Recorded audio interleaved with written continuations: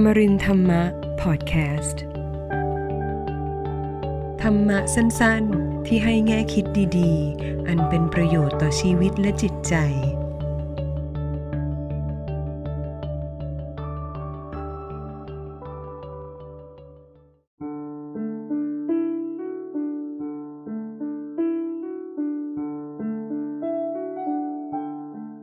บทที่ห้าผิดศีลไม่ผิดธรรมาทำผิดศีล ก็อย่าผิดธรรม ถ้าไม่ผิดธรรม ถึงทำผิดศีล ก็ถือว่าทำไม่ผิด แรกเริ่มเดิมที สมมติว่า ระดับของธรรมะในจิตในใจของเรายังมีน้อย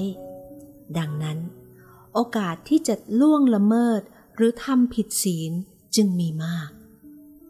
แต่ถ้าเริ่มฝึกปฏิบัติธรรม ระดับของธรรมะในจิตในใจ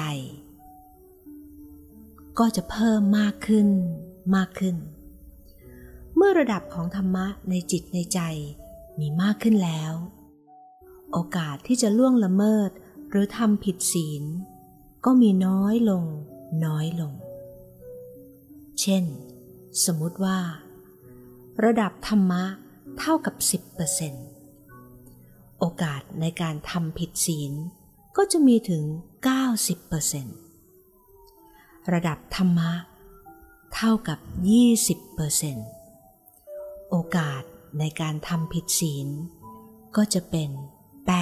80%ระดับธรรมะ เท่ากับ 30%โอกาสในการทำผิดศีล ก็จะเป็น 70% ระดับธรรมะเท่ากับ 40%โอกาสในการทำผิดศีล ก็จะเป็น 60%ระดับธรรมะเท่ากับ 50%โอกาสในการทำผิดศีล ก็จะเท่ากับ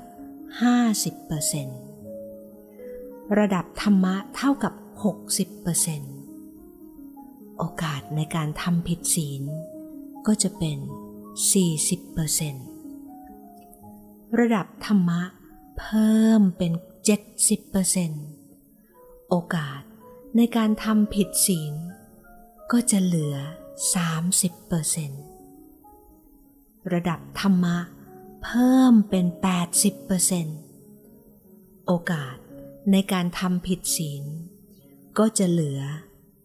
20% ระดับธรรมะ เพิ่มขึ้นเป็น 90%โอกาสในการทำผิดศีล ก็จะมีเพียง 10%และเมื่อระดับของธรรมะเต็ม 100%โอกาสในการทำผิดศีล ก็จะเป็น 0%ดังนั้นไม่ควรผิดธรรมนะท่านทั้งหลาย ธรรม ในที่นี้หมายเอาการปฏิบัติกรรมฐานทั้งสมถะและวิปัสสนา เมื่อกรรมฐานหรือธรรมะอยู่ในจิตในใจแล้ว เจตนาในการล่วงละเมิด หรือทำผิดศีล มันก็ไม่มีเองแหละท่าน และก็หาเหตุผลมาประกอบไม่ได้เลยว่า มีเหตุผลอะไรเนาะที่จะต้องทำผิดศีลหรือล่วงละเมิด ซึ่งผิดกับตอนต้นที่ยังไม่ได้ฝึกปฏิบัติกรรมฐาน ที่ช่างมีเหตุมีผลตั้งมากมาย ในการที่จะล่วงละเมิดหรือทำผิดศีล เหตุนั้น วิธีที่ดีที่สุด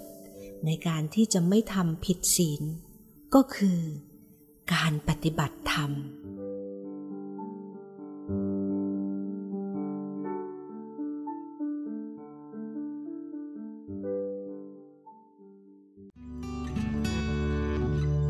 ฟังเสียงธรรมะได้ทุกสัปดาห์ จากนายอินแอปและ Amarin Books Podcast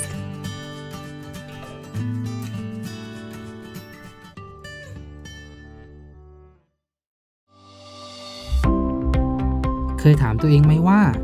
อะไรคือสิ่งสำคัญในการจะมีชีวิตที่ดี และมีความหมาย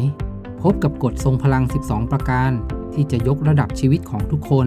ให้พ้นจากวังวนของปัญหา และความสับสนวุ่นวายใด ๆ ในชีวิต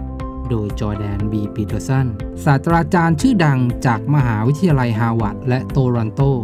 12 กฎที่ใช้ได้ตลอดชีวิต สั่งซื้อได้แล้วที่ a m a r i n b o o k s c o m และร้านหนังสือชั้นนำทั่วประเทศ